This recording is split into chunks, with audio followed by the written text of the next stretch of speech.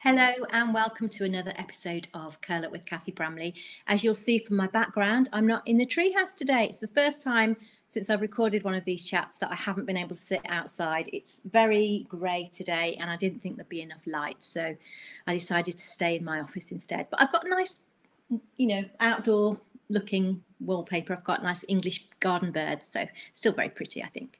Right, my guest today is uh, somebody I've known, known through the RNA, which is the Romantic Novelists Association, for some years, and I'm delighted to welcome to Curl Up with Cathy, Jean Fullerton, who is going to appear by my side any second. Hi, Jean.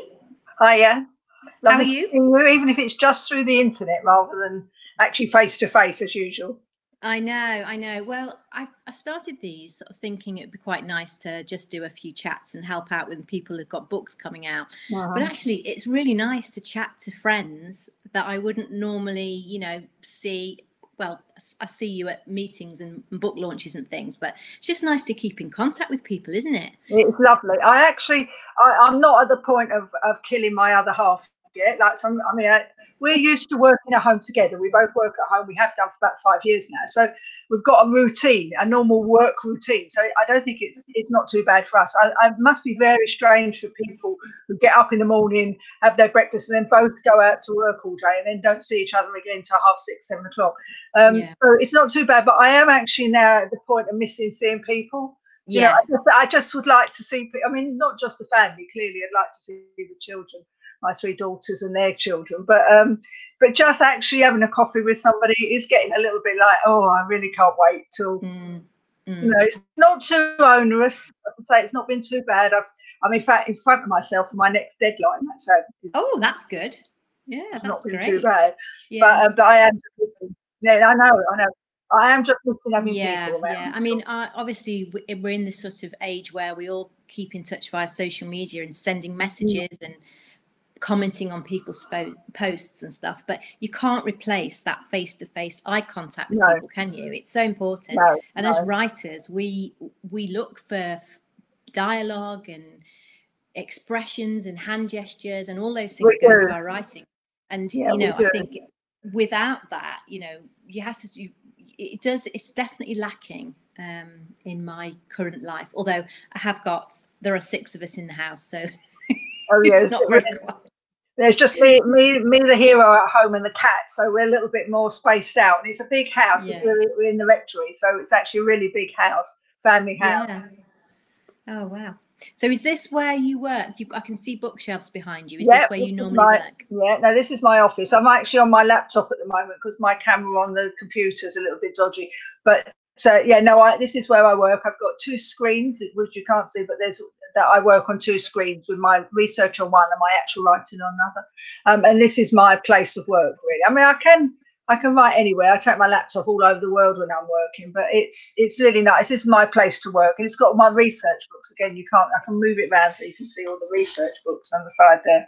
There you oh go wow yeah, all my research books. And I do use book. I mean, I use the internet, but I use books as well. So yeah, oh interesting yeah, Well, I was going to ask you about your writing process and your research, but if we can probably, if we start talking about your next book, you can probably tell us a little bit about that. Yeah. okay. You've got a book coming out in um, about 10 days' time, haven't you? Yes, I have actually. Yeah, all of it is it's up there. It's nice to see it because I because of the situation we're in now, and everybody doing the best they can. And I must say, my my uh, pay, my publishers at um, Atlantic have really pulled out the stops, but all the actual physical copies have been prioritised to uh, to reviewers and readers. So so I actually haven't got a physical copy by this stage. You normally Oh. one or two, but I actually haven't Yeah. got a copy yet. So it's Yeah. to see it. How do they do the covers for these books? Because obviously that looks like a genuinely old photograph. Well, well, it's interesting you say uh, we asked about this one in particular because that cover is actually my photo, and that bride and groom are actually my aunt Martha and my uncle Oh. Wag. So I, I, Oh. I know, I, I just, I can't tell you, Cathy, how thrilled I am to actually have a family photo up there. And the little girl behind is my cousin Edie, who sadly is no more with us. But um, but I sent it up to them and I said because it's an old, I mean it's a very old photo, and I just I said you know if we can, if it can be done because old photos are very grainy, aren't they? And they're not always Mm. to reproduce. So um, and I just said if you could, why don't we use this one rather than use there's lots of uh, lo- lots of sort of vintage pictures out there of the Second World War, and there's lots of bridal ones as well. Um, and I said it'll, it'll, be unique. So actually, that's my Aunt Martha and Uncle Mike. So, and in, in, the back of the book, there's a little bit about how they um, how they actually met and what happened. They got married in 1943, so that's 1943. That thing. But that, know, that, just just looking at that, my grandparents got married. It would have been a little bit after that. Yeah. Um, but her wedding bouquet is almost identical, sort of quite quite symmetrical and spherical with big white blooms in it, just like that. Yeah. I have to go and dig out the photo, but it's very similar. I love, yeah, I love the old photos. I mean, I've sent up a few others for the. I've got two. I've got a, a novella that will fit around these this series and two more books that one of which I've just finished so that's lovely and then the last one to write which is the next time's job um and it's nice to actually have they i was a bit unsure because it's, slightly different from a lot of the other wartime books that are out. A lot of the other wartime books have got photos of obviously 21st century models actually in the costumes and that. And i was a little bit unsure but i think it works really well. It's unique to itself and it sits nicely alongside the other ones. But i'm particularly thrilled with this one that i've my in fact there is another in the picture I'll be doing a post about it anyway later on, on my Facebook. But there is that in the picture, actually, my mum is the next bridesmaid, but they had to cut that off. And then my grandfather was one of the people following on out of the church. So it's, it's, yes, it's a family photo. So nobody else will ever have that photo on their book cover. No, very unique. That's lovely. Yeah, that's lovely. Tell us a little bit about the book. Well, with, with anyone who's been into the series will know we met the Brogans on the day before war broke out back in 1939, and we've followed them all the way through. There's there's three sisters. There's Mattie, Jo, um, and uh, what's her name, Cathy, uh, and one brother. And this book, Ration Book Wedding, is much more about uh, the brother Charlie, who actually comes home from war. Uh, it's no, it won't be given any secrets he comes home in the beginning because he's been injured, um, and and what happens when he gets back. Uh, there's one, a friend of one of the sisters, Mattie.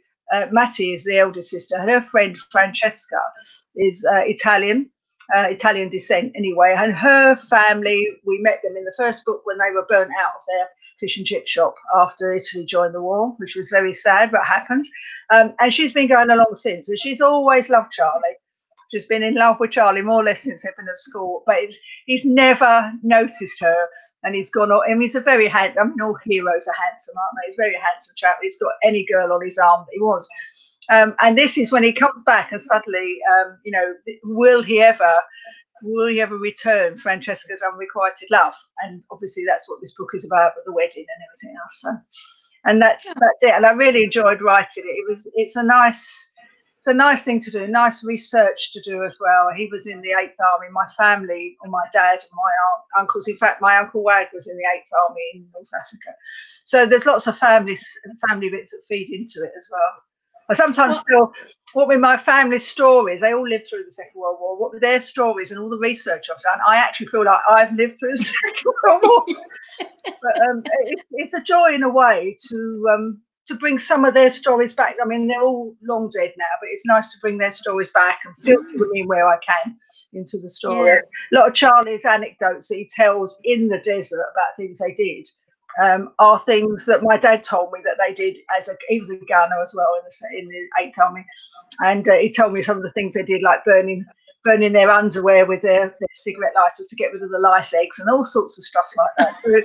I know, I know, it, it doesn't there, but thinking about. But but it means that I can put those into the books and they're part and parcel of their story. And it's very genuine. And uh, yeah, those little those little snippets are what brings yeah, it make, alive. That's right. And you and you you can then believe that they're that they're real people. We're not just talking about people who are I'm making up in my head, although they clearly are fictitious. But lots of their underpinning uh, research is actually from my own family's experience or what I've I've learned from other people by reading biographies. I read a lot of biographies of the period, and that gives you those little details that you can't buy, you can't get in the textbooks.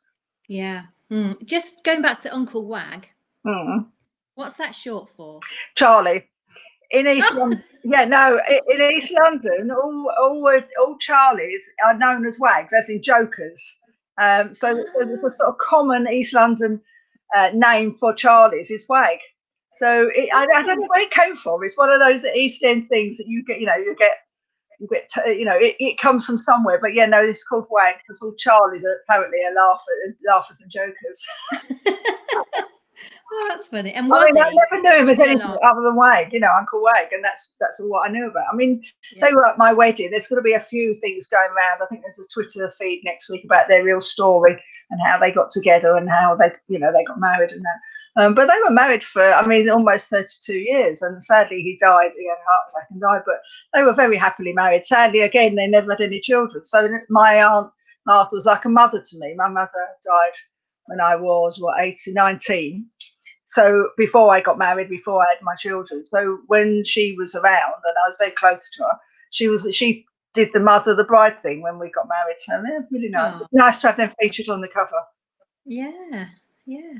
Oh, that's lovely. Mm. Well, um, we often meet at um, Romantic Novelists Uh-huh. Association dues, don't we? Other either meetings or other people's launches and Or with a things like glass with a glass in our hand, the other way. Glass in our hands, yeah, definitely. Um, various awards and things like them, That's right. parties, and um, and the, we have a big conference, don't we, in July? Yeah, sadly, we've had it all cancelled this year, haven't we? Yeah, so that's really sad. I think that's that's a something on the calendar that people really look forward to, isn't it? Because because we do generally work alone, don't we? We do, And, Yeah. and it's nice. And we you make so many friends in this industry um, that you know it's just really nice to all get together and have have a good catch up in the summer. But yeah, we won't be doing that this year. and it also it belies the thing that is often put in press that we you know that we're bitches to each other we don't get on Yeah. well and, and actually that is so opposite that is so the opposite so Yeah. the opposite of so many people who, who when you start out help you along and give you you know pointers you know point you towards agents who might be interested in what you're writing introduce you to editors and things and just so you know and the, and the shoulder to cry on when you get that hundredth rejection and all those sorts of things and Yeah, um, yeah. it always saddens me and it makes me quite angry that we're, as the romantic novelists, who are predominantly women, although we have got a lot of men within our Mm. ranks as well, but we're always portrayed as these sort of catty women who can't get on and always always are trying to have a dig at each other and bring each other Yeah. down. Which is, it's sad because it could be no further from the truth. I know. I mean, to be honest, I've done. I think your this is number twenty five Mm. interview I've done now with you with you today, um, and I think you only have to look back at all the laughs that I'm having with all the other authors. You can see that you know we all get on really really well, Yeah, and we're yeah. friends. And Yeah. um, you know, we are actually. Some of, some of my best friends actually are, I mean, apart from the ones that I've had for years and years, you know, I've grown, had the children with and all that. Um, some of my absolute closest friends now are actually members of the RNA that I started with, what, 15 years ago I've been in it. So, you know, Mm. started as a new writer scheme member and I've come through and got published and, and you celebrate their, their books as well. I mean, my, the only thing is, I really struggle to keep up with everybody's new books now because obviously writing takes time away from reading. But um, no, it's a lovely organisation, which is why I, I sort of stepped up when I gave up work and became a writer full time. I stepped up and went on the committee because I thought the least you can do is put something back um, to try, you know, to try and help it through. And people volunteer. and, uh, Their volunteers before, all those ones have been before on the committee, have helped me um, to be where I am today. So it's the least Mm. I could do. Mm.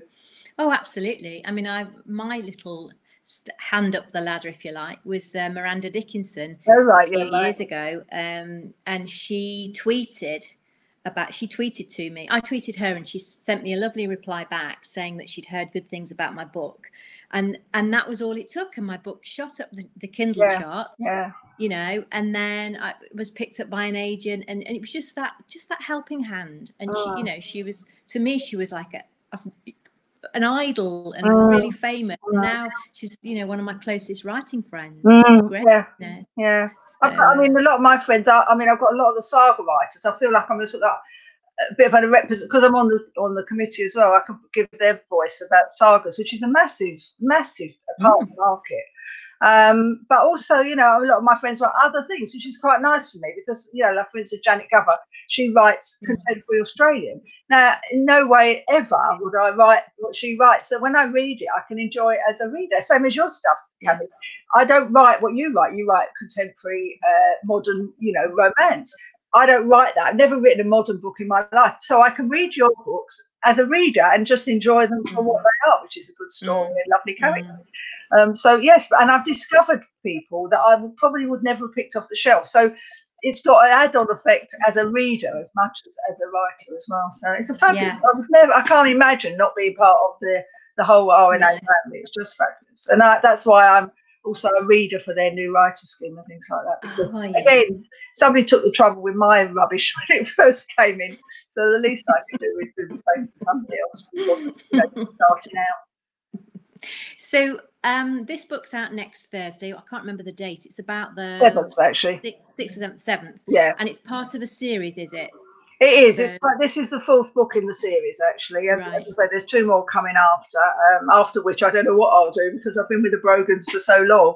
Uh, but yeah, no, there's three now, so you've still got time to buy them and catch up with it. Yeah. Um, yeah and the first one being uh, Ration Book Dream, which is it starts off the one that starts off the day before war broke out.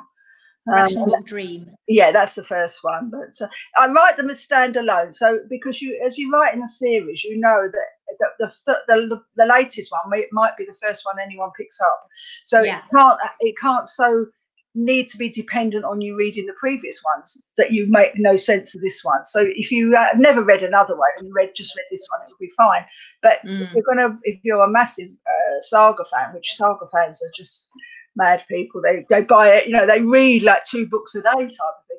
Um, Wow. obviously you'd get more out of it if you actually had read the ones before, but it's Yeah, not yeah. necessary. It's not necessary. Yeah.